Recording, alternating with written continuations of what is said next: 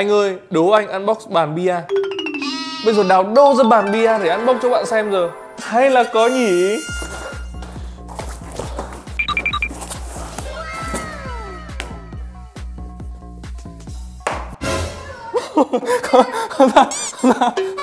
Anh Nam em xin lỗi.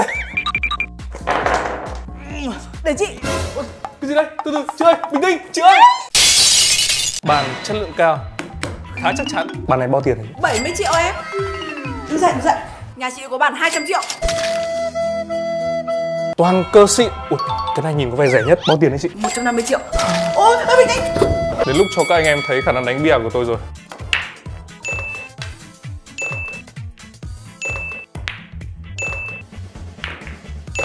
Với những kỹ năng thượng thừa như vậy Không khó để tôi đạt được những chiếc cúp như thế này. Hết giờ rồi em ơi. Cảm ơn em, vâng đây, khổ quá, cho mượn tí Cắt. Ya?